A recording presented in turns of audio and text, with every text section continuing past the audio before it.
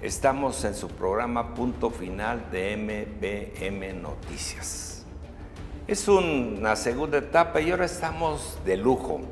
Sofía Valdivia, una aguerrida periodista con una visión muy especial en la política, con una intensa y cultivada libertad, no solamente de palabra, sino de espíritu, de hechos. Y esto es lo que le da precisamente valor a un medio de comunicación, esa libertad. Sofía, qué gusto tenerte de compañera. Gracias, te agradezco muchísimo, amigo Sócrates. En verdad, un placer para mí estar contigo y un honor sobre todo, porque digo, siempre te he admirado. Excelente programa. Hasta que se me hizo estar contigo en esta ocasión. Gracias por haberme invitado, por tomarme pues en cuenta. Muchas gracias. Ya sabes, yo, yo este, te pedía, pero... No, no querían traerme estos condenados. Eso, claro, es la verdad. Hoy, amigos, hablaremos de Santa Lucía del Camino y para ello tenemos a Juan Carlos García Márquez.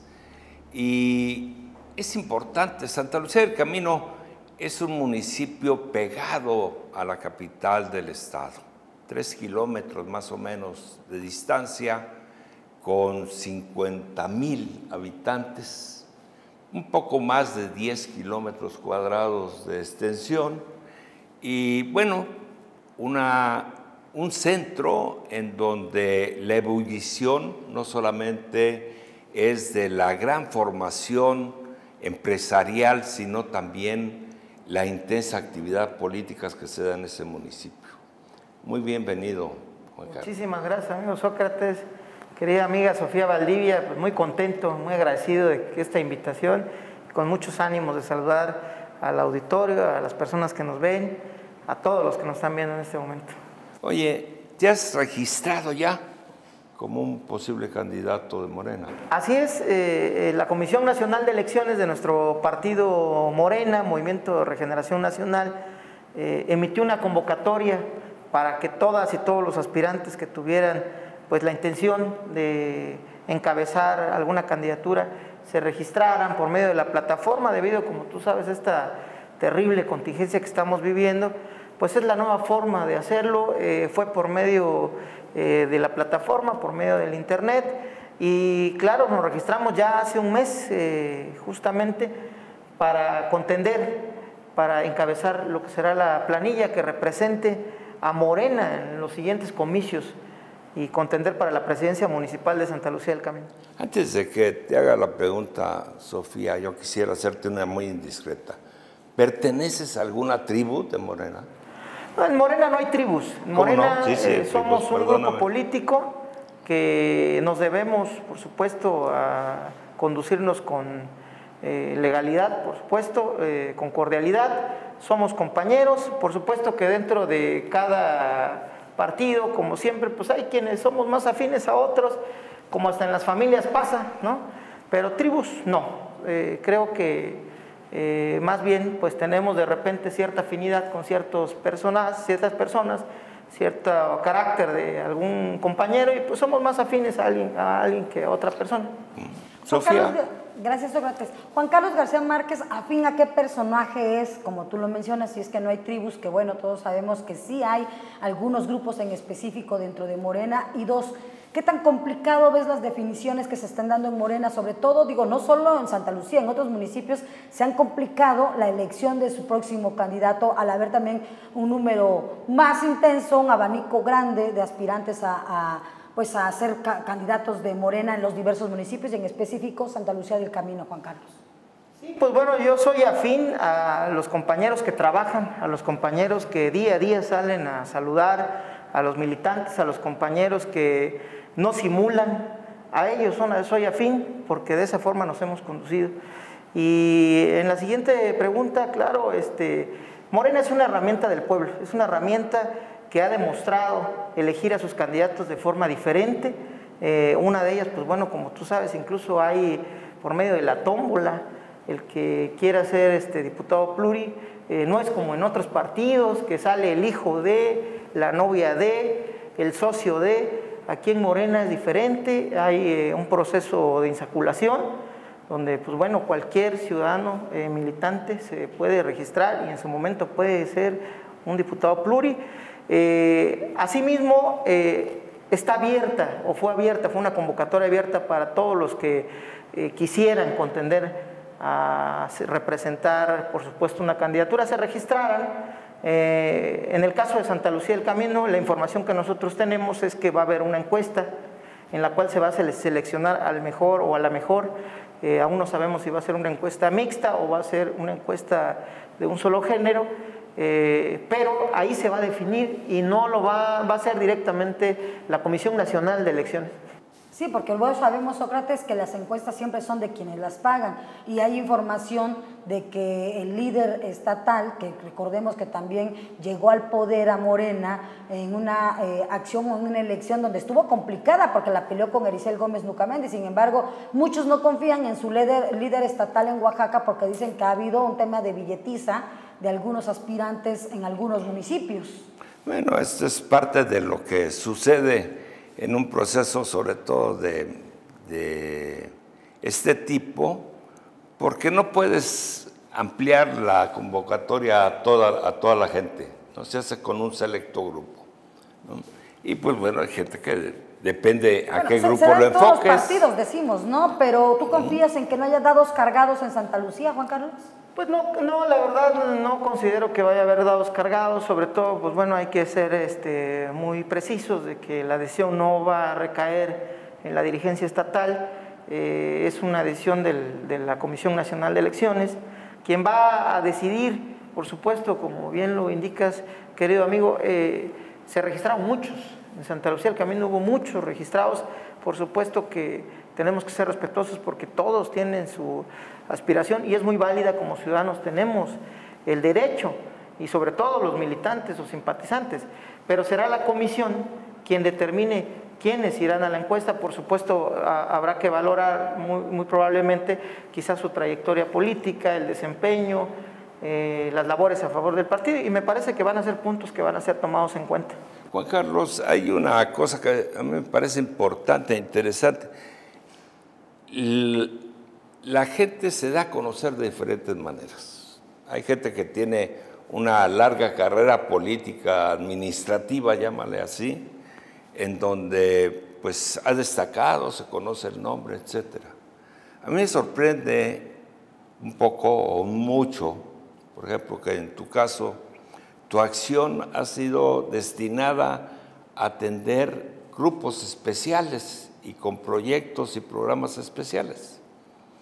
¿Estos recursos de dónde salen? Pues mira, tienes razón cuando nos dices que hay diferentes formas de hacerse notar. Nosotros lo hemos visto en diferentes procesos, hemos visto qué es lo que ocurre cuando un candidato o candidata o aspirante o aspirante quieren contender. Pues lo clásico es que pagan en alguna revista muy importante, de mucha moda, o a veces un espectacular muy grande, muy bien ubicado y se paga para poder subir y sabes que esto no es barato. Eh, pero yo creo que eso no es un verdadero liderazgo, sino simplemente es un, un posicionamiento efímero que a fin de cuentas no va a crear un verdadero liderazgo y, no ayuda en nada a ninguno.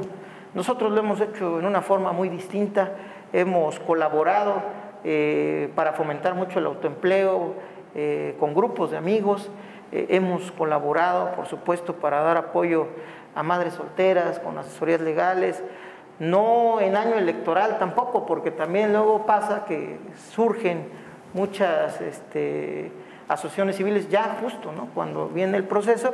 Nosotros lo hemos hecho todos los años, todos los meses. Hoy en día ya no podemos mentir sobre eso porque hay algo que se llama Facebook y pues ahí está toda la información, ¿no? De que si hiciste o no hiciste.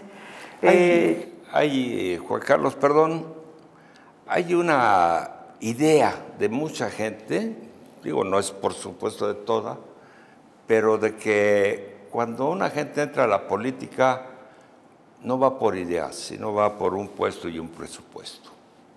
¿Tú por qué vas? Bueno, pues nosotros hemos demostrado eh, sobre lo que yo te comentaba hace un momento, que hemos hecho las cosas diferente desde un principio.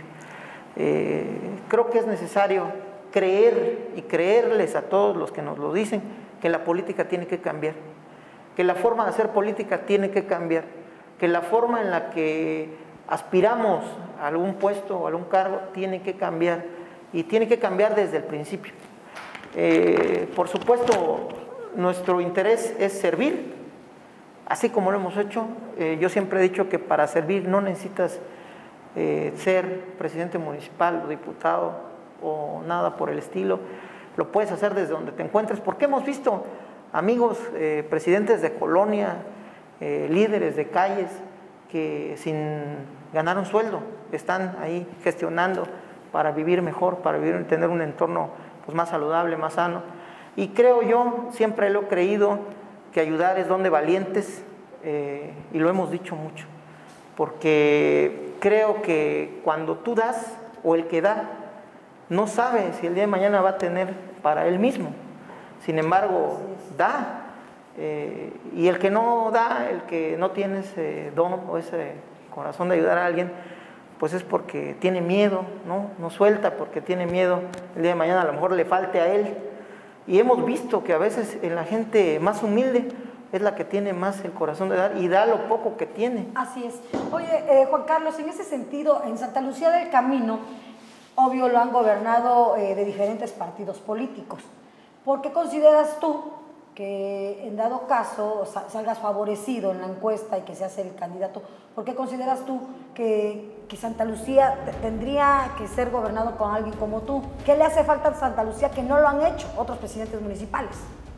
Yo creo que Santa Lucía el Camino necesita ser gobernado por una persona cercana a la gente, que verdaderamente tenga la intención de hacer las cosas y no de simular.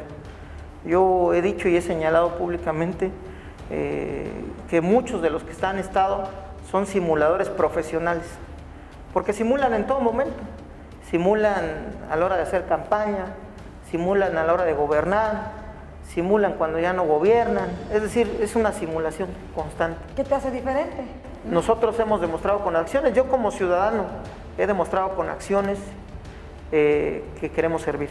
Amigos, vamos a un pequeño corte y bueno, hay funcionarios públicos y cargas públicas que se convierten en algunos funcionarios, ¿verdad? Ya regresaremos con estos temas tan interesantes con Juan Carlos García Márquez de Santa Lucía del Camino.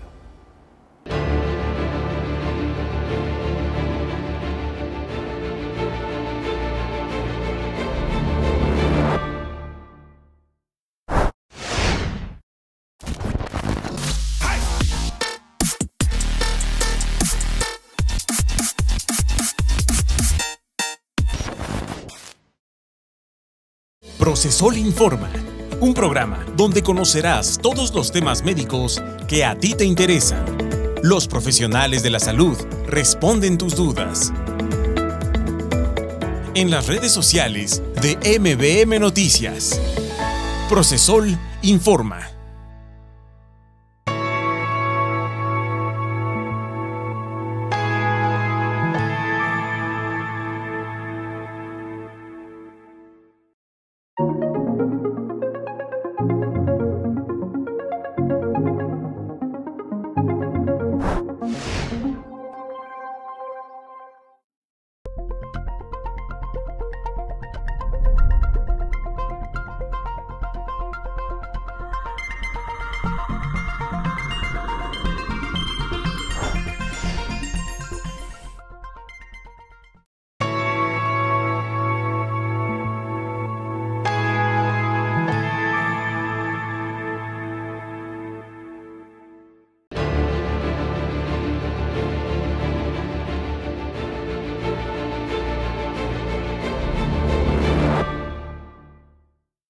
Amigos, regresamos con este programa en, Santa Lucía del Camino eh, con Juan Carlos García.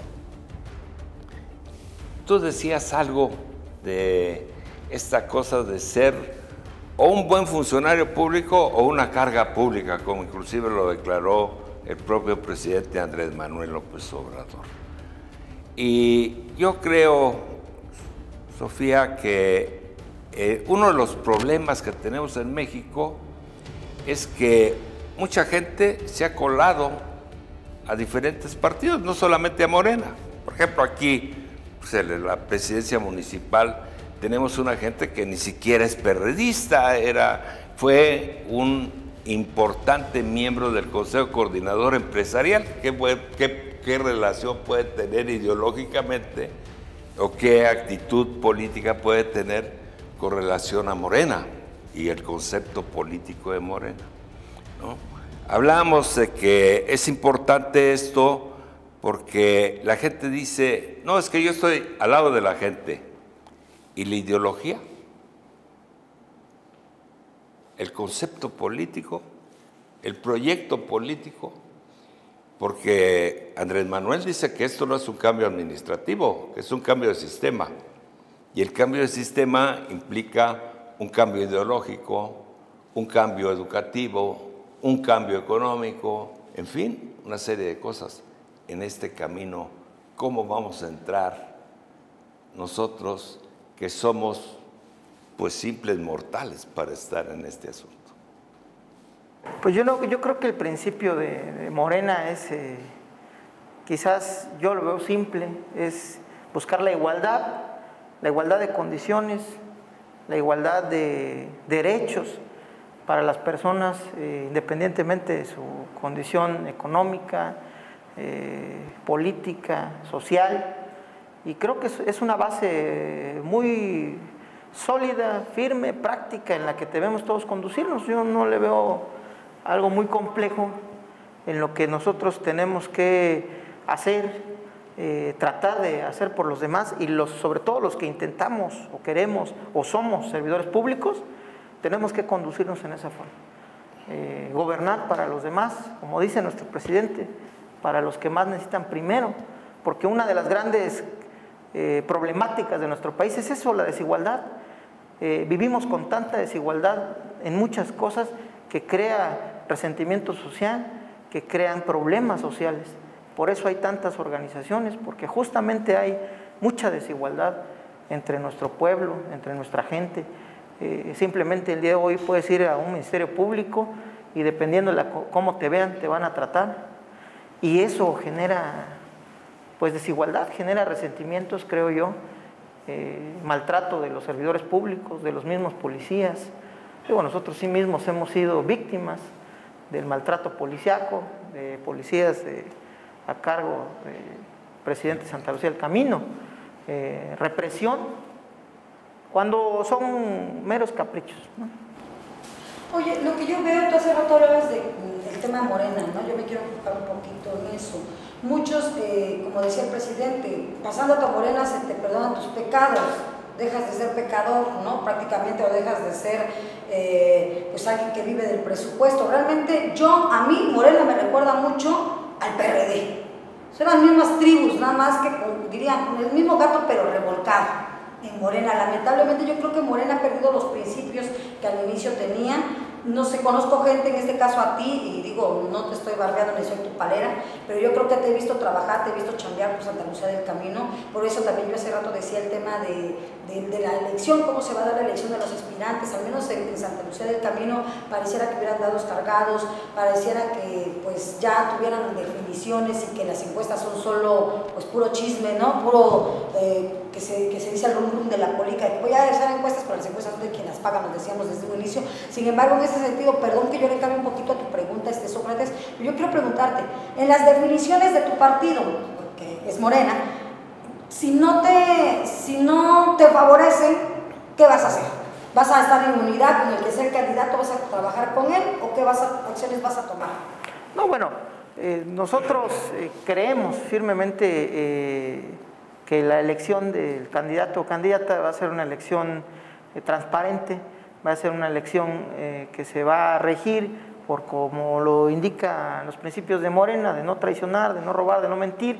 Creo que en ese sentido vienen. Yo sí creo que va a haber una encuesta real, eh, nadie las va a pagar, al menos de los aspirantes. Es una encuesta que va a correr la Comisión Nacional de Elecciones, quien no me conoce a mí personalmente ni a otros candidatos, entonces eh, eso garantiza la imparcialidad eh, por supuesto se van a analizar los mejores perfiles. ¿eh?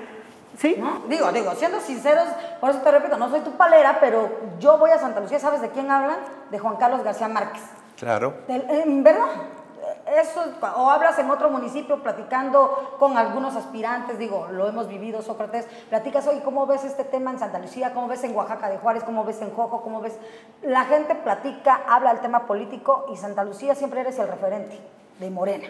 Pues yo creo que como en todo lo que hacemos, eh, por supuesto, eh, siempre que trabajemos, trabajamos van a haber resultados positivos. Lo vemos en todas las cosas que hacemos, ¿no? Por ejemplo, pues yo puedo decir, eh, vemos a los periodistas, sabemos quién es Sofía Valdivia, porque te vemos en la mañana, en la tarde y en la noche eh, haciendo actividades, te vemos en programas muy metidos. creo yo que esa es la clave del éxito, es trabajar la constancia. De nada sirve hacer una reunión hoy y luego hacer una reunión cada 15 días o a los 8 días o hay personajes, y no hablo de nadie de Morena, que hacen una reunión, salen un día a caminar y se toman 10 fotos y esas 10 fotos las suben eh, una por día. Una por día. Eh, es cierto, ¿no? Lamentablemente. Por eso yo te digo que son simuladores.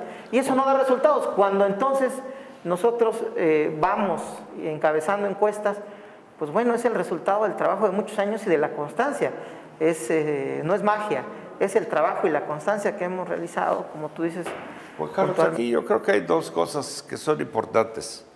Una, en el proceso anterior, donde gana Morena y aplasta, donde hubo un alto nivel de encabronamiento, porque así fue, de la gente ya estábamos todos encabronados, ¿no? molestos, vivíamos y observábamos la corrupción y el cinismo en esa corrupción y todo el entreguismo que se hacía.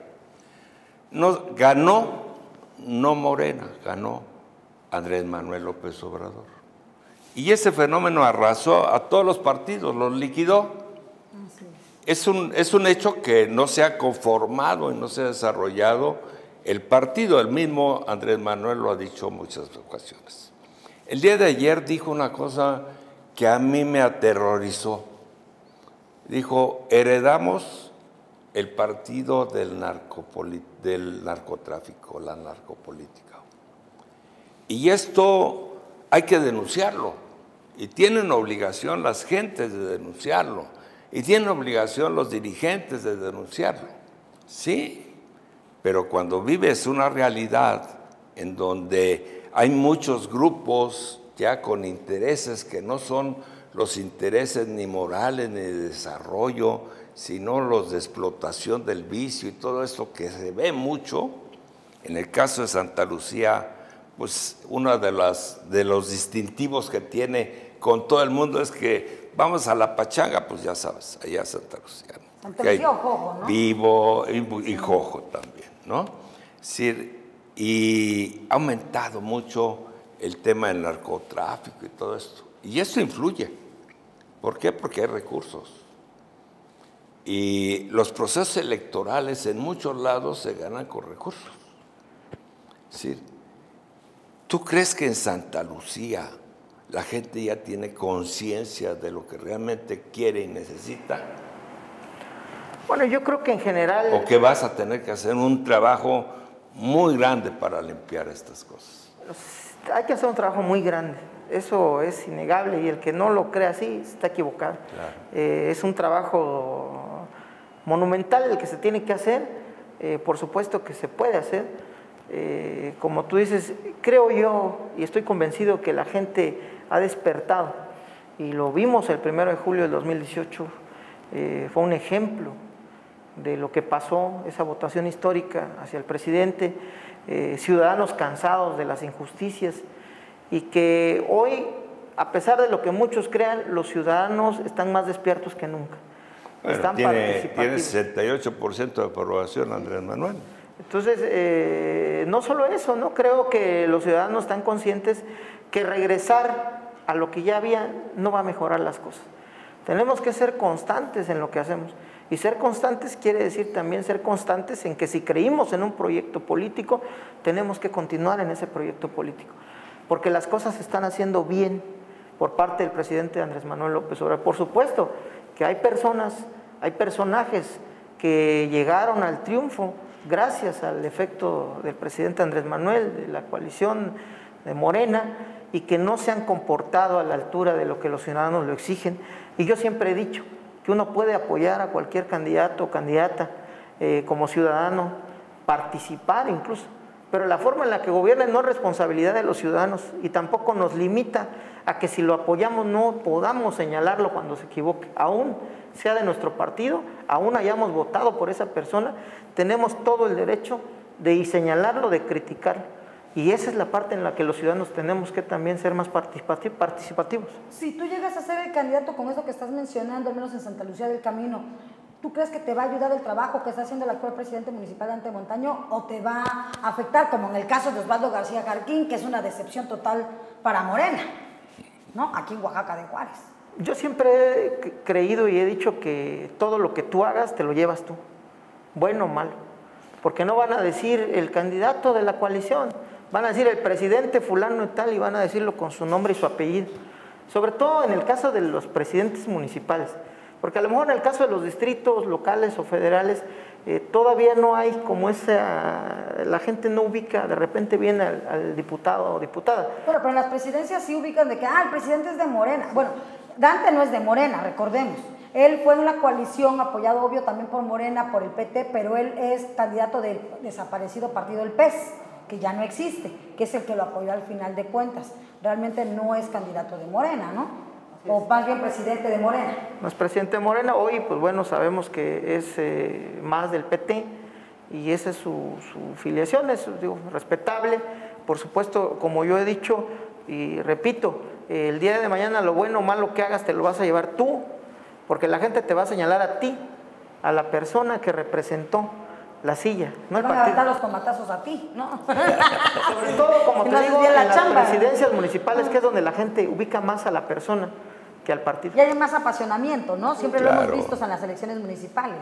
Sí, sí decían a Heroles que realmente cuando ellos entraban a votaciones no les interesaba a la gente quién era el presidente, quién era el senador, el gobernador, el diputado federal se mataba por la elección del presidente municipal, que es el primer contacto, ¿no? El primer contacto social, político, económico, etcétera, ¿no? Y sí, yo estoy de acuerdo contigo, la gente se lleva lo que siembra, ¿verdad? Pero hay muchos que siembran una gran corrupción y otros que siembran un gran bienestar. Esperemos realmente, Juan Carlos, que todo esto es una buena reflexión, los invitamos a ustedes, amigos, a que nos manden sus preguntas, sus intereses que tenemos y sobre todo, pues bueno, saber que tenemos una crítica abierta en este programa, en muchos más. Sofía es no solamente una garantía de gran golpeadora política, sino una buena garantía de gran golpeadora ideológica. Juan Carlos, te agradecemos mucho este y a ustedes amigos su atención y su paciencia. Mil gracias por ello.